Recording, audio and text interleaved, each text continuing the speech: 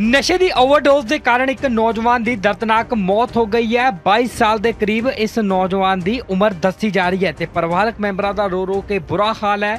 ਉੱਥੇ ਹੀ ਮ੍ਰਿਤਕ ਦੇ ਪਰਿਵਾਰ ਵਾਲਿਆਂ ਦਾ ਕਹਿਣਾ ਹੈ ਕਿ ਉਹਨਾਂ ਦੇ ਇਲਾਕੇ ਦੇ ਵਿੱਚ ਸ਼ਰੇਆਮ ਨਸ਼ਾ ਵਿਕਦਾ ਹੈ। ਪੁਲਿਸ ਦੇ ਵੱਲੋਂ ਸਿਰਫ ਖਾਨਾ ਪੂਰਤੀ ਦੇ ਲਈ ਇੱਕ ਗੇੜੀ ਮਾਰੀ ਜਾਂਦੀ ਹੈ ਤੇ ਉਸ ਤੋਂ ਬਾਅਦ ਦੇ ਵਿੱਚ ਫਿਰ ਤੋਂ ਨਸ਼ਾ ਵਿਕਣਾ ਸ਼ਰੇਆਮ ਸ਼ੁਰੂ ਹੋ ਜਾਂਦਾ ਹੈ। ਹਾਲਾਂਕਿ ਇਸ ਮੌਕੇ ਤੇ ਮ੍ਰਿਤਕ ਦੇ ਪਿਤਾ ਦਾ ਕਹਿਣਾ ਕਿ ਉਹਨਾਂ ਦਾ ਬੇਟਾ ਪਿਛਲੇ 3-4 ਮਹੀਨਿਆਂ ਤੋਂ ਕਾਫੀ ਜ਼ਿਆਦਾ ਨਸ਼ੇ ਦੇ ਉੱਤੇ ਲੱਗ ਗਿਆ ਸੀ ਤੇ ਹੁਣ ਨਸ਼ੇ ਦੀ ਓਵਰਡੋਜ਼ ਦੇ ਕਾਰਨ ਹੀ ਉਸ ਦੀ ਮੌਤ ਹੋ ਗਈ ਹੈ। ਤਾਂ ਮਾਮਲਾ ਅਬੋਹਰ ਤੋਂ ਸਾਹਮਣੇ ਆਇਆ ਜਿੱਥੇ ਕਿ ਨਸ਼ੇ ਦੀ ਓਵਰਡੋਜ਼ ਦੇ ਕਾਰਨ ਇੱਕ ਹੋਰ ਮਾਂ ਦਾ ਪੁੱਤ ਮੌਤ ਦੇ ਮੂੰਹ ਦੇ ਵਿੱਚ ਜਾ ਚੁੱਕਾ ਹੈ। ਦੱਸਦੀ ਹੈ ਕਿ ਨਸ਼ੇ ਦੀ ਓਵਰਡੋਜ਼ ਦੇ ਕਾਰਨ ਉਸ ਦੀ ਦਰਦਨਾਕ ਮੌਤ ਹੋ ਗਈ ਹੈ। ਹਾਲਾਂਕਿ ਪਰਿਵਾਰ ਦਾ ਕਹਿਣਾ ਹੈ ਕਿ ਉਸ ਦੇ ਵੱਲੋਂ ਓਵਰਡੋਜ਼ ਜੋ ਹੈ ਘਰ ਦੇ ਵਿੱਚ ਹੀ ਲਈ ਗਈ। ਅਚਾਨਕ ਹੀ ਜਦੋਂ ਉਸ ਦੀ ਤਬੀਅਤ ਵਿਗੜੀ ਤਾਂ ਉਸ ਨੂੰ ਹਸਪਤਾਲ ਲਿਜਾਇਆ ਗਿਆ, ਜਿਸ ਤੋਂ ਬਾਅਦ ਉਸ ਦੀ ਮੌਤ ਹੋ ਗਈ ਹੈ।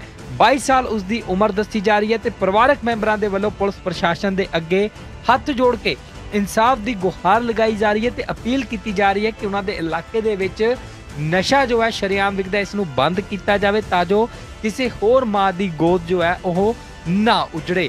ਤਾਂ ਅਬੋਹਰ ਤੋਂ ਇਹ ਮਾਮਲਾ ਸਾਹਮਣੇ ਆਇਆ ਜਿੱਥੇ ਕਿ ਨਸ਼ੇ ਦੀ ਓਵਰਡੋਜ਼ ਦੇ ਕਾਰਨ ਇੱਕ 22 ਸਾਲ ਦੇ ਨੌਜਵਾਨ ਦੀ ਦਰਦਨਾਕ ਮੌਤ ਹੋ ਗਈ ਹੈ। ਮੇਰਾ ਸਾਲਾ ਸੀ ਜੀ। ਮੈਂ ਇਹੀ ਮੰਗ ਕਰਦਾ ਜੀ। ਹੁਣ ਦੇਖੋ ਛੋਟੇ ਛੋਟੇ ਬੱਚੇ ਆ, ਜਿੰਨੇ ਵੀ ਇਹ ਸਾਰੇ ਪੀ ਪੀ ਕੇ ਜੇ ਇਸੀ ਹਾਲਤ ਤੇ ਮਰੀ ਜਾਂਦੇ ਹੈਗੇ ਇਹ। ਜੀ ਨਸ਼ਾ ਦੀ ਹਾਲਾਤ ਤੇ ਸੀ। ਇਹ ਕਾਫੀ ਸਾਲ ਹੋ ਗਏ ਜੀ। ਅਸੀਂ ਕਰਦੇ ਹੁਣ ਇੰਨਾ ਪਤਾ ਹੁੰਦਾ ਤਾਂ ਅਸੀਂ ਆਪ ਹੀ ਵਗ ਜਾਂਦੇ।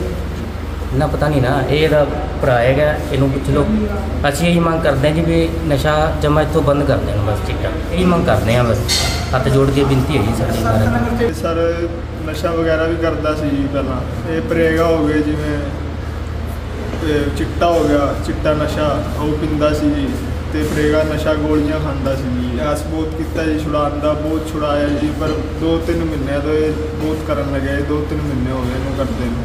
ਤੇ ਇਹਨੂੰ ਛੁਡਾਉਣ ਦੀ ਕੋਸ਼ਿਸ਼ ਕੀਤੀ ਹਫ਼ਤਾ ਵੀ ਕਰੇ ਰਿਹਾ ਇਹ ਸਹੀ। ਅਦ ਢਿੱਲਾ ਹੋਣ ਲੱਗ ਗਿਆ ਬੁਖਾਰ ਬਖੂਰ ਚੜਨ ਲੱਗ ਗਿਆ। ਨਹੀਂ ਪਤਾ। ਸਰ ਇੰਨੇ ਪਤਾ ਹੁੰਦਾ ਤਾਂ ਅਸੀਂ ਉਹਨੂੰ ਜਾ ਕੇ ਕਰ ਰਹੇ ਹਾਂ ਸਰ ਵੀ ਬਹੁਤ ਮਾੜਾ ਆ ਸਾਡੇ ਨਾਲ ਤਾਂ ਕਿਸੇ ਹੋਰ ਨਾਲ ਨਾ ਹੋਵੇ ਐਵੇਂ।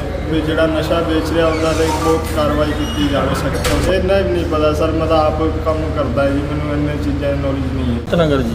ਸਾਡੇ ਬੇਟੇ ਨਾਲ ਇਹ ਹੋਏ ਜੀ ਟੀਕੇ ਲਾਉਂਦਾ ਹੁੰਦਾ ਸੀ? ਨਸ਼ਾ ਸ਼ਰੇਆਮ ਵਿਕ ਰਿਹਾ ਹੈ ਮਹੱਲੇ 'ਚ ਕੋਈ ਪੁਲਿਸ ਤੇ ਕੋਈ ਐਕਸ਼ਨ ਨਹੀਂ ਲੈਂਦੀ ਆਖ ਨਹੀਂ ਆਉਂਦੀ ਹੈ ਤੇ ਚਲੀ ਜਾਂਦੀ ਹੈ। ਅਸੀਂ ਚਾਹੁੰਦੇ ਆ ਕਿ ਸਾਡਾ ਬੱਚਾ ਜਿਵੇਂ ਗਿਆ ਕਿਸੇ ਹੋਰ ਦਾ ਬੱਚਾ ਨਾ ਜਾਵੇ। ਮਹੱਲੇ 'ਚ ਵਿਕਦਾ ਜੀ। ਉਹਦੇ ਹੈਗੇ ਆ ਓਵਰਡੋਜ਼ ਸੀ ਤੇ ਨਿਡਲ ਦੇ ਮਾਰ ਕੇ ਗਿਆ ਤਾਂ ਦੇ ਤੇ ਆਪਣੇ ਕੋਲ ਇਹ ਪ੍ਰੋਡਕਟ ਹੈਗਾ। ਉਹ ਮੋਸਟ ਪ੍ਰੋਬਬਲੀ ਬਾਕੀ ਕਨਫਰਮ ਹੋਊਗਾ ਆਫਟਰ ਪੋਸਟਮਾਰਟਮ ਉਹ ਤਾਂ ਕਾਫੀ ਪੁਰਾਣੇ ਇਨਸਾਨ ਵੀ ਹੈਗਾ ਕਾਫੀ ਟਾਈਮ ਤੋਂ ਲੱਗ ਰਿਹਾ ਹੈਗਾ। ਨੌਜਵਾਨ ਦੀ ਜਿਹੜੀ ਦੀ ਮੌਤ ਹੋਈ ਹੈ ਕੋਈ ਕਾਰਨ ਕਰਕੇ ਜਿਹੜਾ ਸਾਗਰ ਪੁੱਤਰ ਬੰਟੀ ਜਿਹੜਾ ਵਾਸੀ ਹੈਗਾ ਸੰਤ ਨਗਰ ਦਾ ਰਹਿਣ ਵਾਲਾ ਸੀ, ਜਿਸ ਤੇ ਅਸੀਂ ਮੌਕੇ ਤੇ ਪਹੁੰਚ ਕੇ ਜਿਹੜੀ ਸਾਡੀ ਪੜਤਾਲ ਦਾ ਜਿਹੜੀ ਗੱਲ ਸਾਹਮਣੇ ਆਈ ਹੈ, ਵੀ ਇਹ ਜਿਹੜਾ ਹੈਗਾ ਪਿਛਲੇ 2 ਸਾਲ ਤੋਂ ਤਕਰੀਬਨ ਜਿਹੜਾ ਐਡਿਕਟ ਡਰੱਗ ਅਡਿਕਟ ਸੀ, ਜੋ ਕਿ ਨਸ਼ਾ ਕਰਦਾ ਸੀ, ਜਿਸ ਦੀ ਉਸ ਸਮੇਂ ਤੋਂ ਹੀ ਹਾਲਤ ਜਿਹੜੀ ਹੈਗੀ ਆ ਉਸ ਤਰ੍ਹਾਂ ਦੀ ਘਰਦਿਆਂ ਦੇ ਮੁਤਾਬਕ ਮਾਰ ਜਾਂ ਕਿਸ ਤਰ੍ਹਾਂ ਦਾ ਐਡਿਕਟ ਜਿਵੇਂ ਹੁੰਦਾ ਉਸ ਤਰ੍ਹਾਂ ਦੀ ਸੀ। ਬਾਕੀ ਉਹਦੀ ਬਾਡੀ ਅਸੀਂ ਪੋਸਟਮਾਰਟਮ ਉੱਥੇ ਮੋਰਚਰੀ ਚ ਸਬਮਿਟ ਕਰਾਤੀ ਹੈ। ਪੋਸਟਮਾਰਟਮ ਦੇ ਜਿਹੜੇ ਉਹਦੇ ਕਾਰਨਾਂ ਦਾ ਪਤਾ ਲੱਗੂਗਾ ਵੀ ਉਹ ਆਰਗਨ ਫੇਲੀਅਰ ਸੀ ਜਾਂ ਕੋਈ ਹੋਰ ਜਿਹੜੀ ਵੀ ਚੀਜ਼ ਉਹਦੇ, ਵੀ ਉਹਦੇ ਮੌਤ ਦਾ ਕਾਰਨ ਕੀ ਇਹ ਸਾਡੀ ਪੰਜਾਬ ਸਰਕਾਰ ਦੀ ਮੁਹਿੰਮ ਚਲਾਈ ਗਈ ਹੈ, ਸਾਡੇ ਡੀਜੀਪੀ ਸਾਹਿਬ ਵੱਲੋਂ, ਸਾਡੇ ਮਾਨਯੋਗ ਜਿਹੜੇ ਐਸਐਸਪੀ ਵਰਿੰਦਰ ਬਰਾੜ ਜੀ ਦੀ ਦਿਸ਼ਾ ਨਿਰਦੇਸ਼ਾਂ ਤੇ, ਸਾਡੀ ਪੁਲਿਸ ਵੱਲੋਂ ਲਗਾਤਾਰ ਜਿਹੜੀ ਹੈਗੀ ਹੈ ਨਸ਼ੇ ਦੇ ਉੱਤੇ ਫਰੰਟ ਤੇ ਸਾਡਾ ਕੰਮ ਜਾਰੀ ਹੈ। ਜੋ ਰੀਸੈਂਟ ਅਸੀਂ ਪਿਛਲੇ 10 ਦਿਨਾਂ ਦੇ ਵਿੱਚ ਅਸੀਂ ਜਿਹੜਾ ਤੁਹਾਨੂੰ ਦੱਸਣਾ ਚਾਹਾਂਗੇ, ਜਿਹੜਾ 185 ਨੰਬਰ ਮੁਕੱਦਮਾ ਅਸੀਂ 3900 ਨਸ਼ੀਲੀਆਂ ਗੋਲੀਆਂ ਟਰਾਮਾਡੋਲ ਦਾ ਜਿਹੜਾ ਉੱਤਮ ਨਗਰ ਜਮਾ ਸੰਤ ਨਗਰ ਦੇ ਵਿੱਚ ਹੀ ਅੰਗਰੇਜ਼ ਸਿੰਘ ਨਾਮ ਦੇ ਬੰਦੇ ਤੋਂ ਅਸੀਂ ਬਰਾਮਦ ਕੀਤੀਆਂ, ਉਹ ਪਰਚਾ ਦਰਜ ਕੀਤਾ।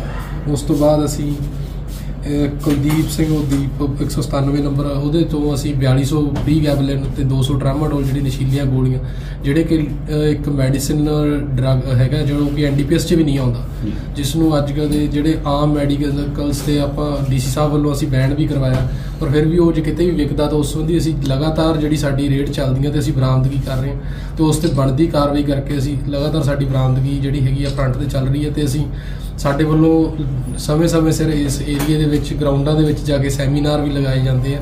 ਸਾਰੇ ਸਕੂਲ ਦੇ ਵਿੱਚ ਤੇ ਬੱਚਿਆਂ ਨੂੰ ਜਿਹੜੇ ਵੀ ਨਵੇਂ ਯੂਥ ਹੈਗਾ, ਉਹਨਾਂ ਨੂੰ ਹਰ ਪਾਸਿਓਂ ਅਸੀਂ ਅਵੇਅਰ ਵੀ ਕਰਦੇ ਆ ਤੇ ਅਸੀਂ ਹਰੇਕ ਨੂੰ ਇੱਕ ਜਿਹੜਾ ਵੀ ਕੋਈ ਐਡਿਕਟ ਹੈਗਾ, ਅਸੀਂ ਉਹਨਾਂ ਨੂੰ ਅਪੀਲ ਵੀ ਕਰਦੇ ਹਾਂ ਉਹਨਾਂ ਦੇ ਘਰਦਿਆਂ ਨੂੰ ਵੀ ਜਿਹੜਾ ਸਾਡੇ ਉਹਨਾਂ ਦੇ ਕੋਈ ਇਲਾਜ ਕਰਾਉਣਾ ਚਾਹੁੰਦਾ, ਕੋਈ ਡੀ ਐਡਿਕਸ਼ਨ ਕਰਾਉਣਾ ਚਾਹੁੰਦਾ, ਤਾਂ ਅਸੀਂ ਉਸ ਦੇ ਹਰ ਹਰ ਪੱਖੋਂ ਅਸੀਂ ਤੁਹਾਡੀ ਹੈਲਪ ਕਰਨ ਲਈ ਤਿਆਰ ਹਾਂ।